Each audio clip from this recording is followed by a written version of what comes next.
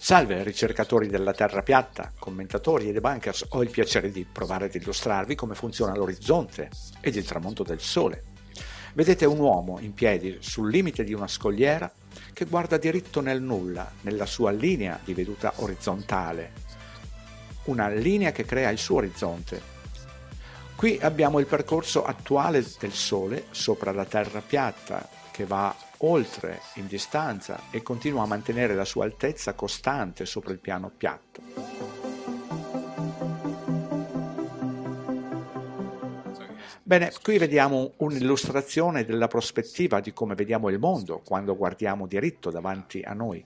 Tutto quello che è sulla superficie si innalza verso il punto in centro, il punto di fuga, e tutto quanto nel cielo scende in basso, sempre verso il punto di fuga. Pertanto se mettiamo il Sole là sopra, quando si allontana da noi, questo è quello che vedremo.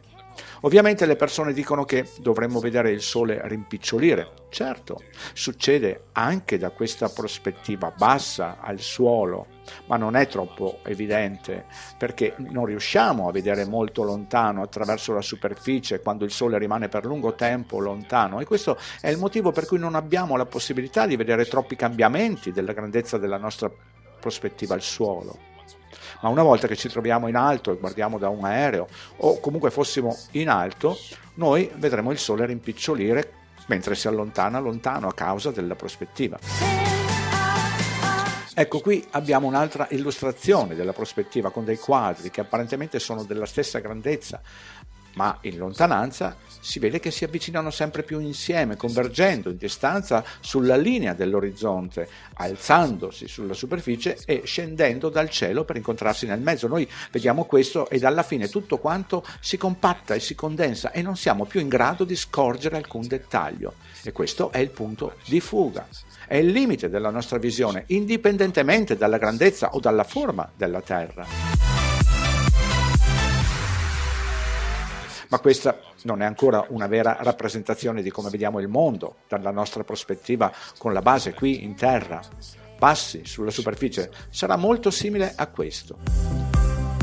Vedete che la superficie rimane la stessa dal nostro punto di prospettiva di base, indipendentemente, come dicevo, dalla grandezza o dalla forma della Terra, e la superficie si innalzerà sempre, almeno fin nel mezzo, a livello del nostro campo visivo la parte superiore è quella del cielo e qui possiamo vedere che il cielo è molto ampio perché riusciamo a vedere molto di più del cielo rispetto a quello che possiamo vedere della superficie. Non possiamo vedere sotto, d'oltre la superficie, ma il cielo è trasparente, pertanto riusciamo a vedere molto più lontano di quella metà della parte in alto del nostro campo visivo, quello che abbiamo.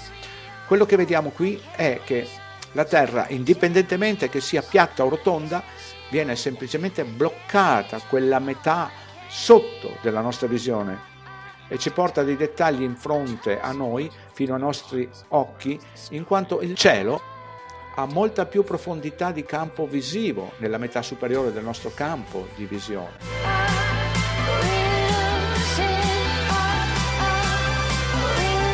Torniamo indietro, sulla cima della nostra montagna dove abbiamo la prospettiva dell'osservatore rappresentata nella griglia bassa qui sulla parte destra. Le frecce viola rappresentano le linee di convergenza sull'orizzonte dell'osservatore. Qui abbiamo il Sole e come apparirà nel suo percorso mentre attraversa il cielo, mantenendo la distanza costante sopra la Terra.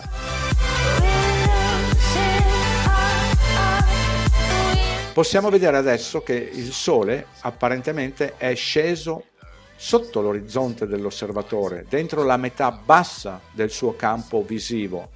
E questo l'abbiamo già visto prima con la superficie.